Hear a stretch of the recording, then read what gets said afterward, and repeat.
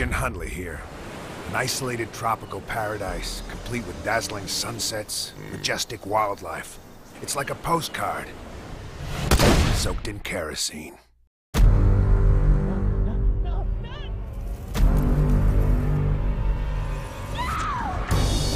Virgin wilderness, burned, deflowered, shot full of more holes than soda water. Take a look at Vaas Montenegro, the man behind the destruction.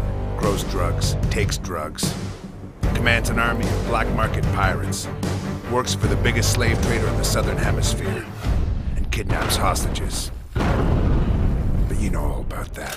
If you want to get your friends back, you'll have to take them to the cleaners. And to do it, you're gonna need guns, shelter, and a really good doctor. Dr. Alec Earnhardt can teach you local recipes, but there may be some side effects. While you try to avoid playing footsie with Vaas, search for outposts.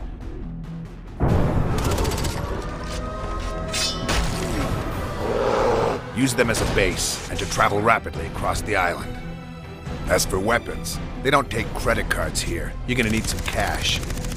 Running side missions like deliveries for the Rakyat out of the jungle can earn you dinero. Hunting and crafting are other options for cash flow. Or you can go lay it all on the line at a poker game. Watch out though, you may find yourself doing some unsavory things.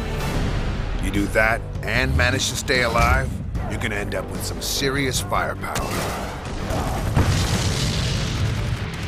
And just maybe you'll have a chance to stand against Vaas and his men. Happy hunting.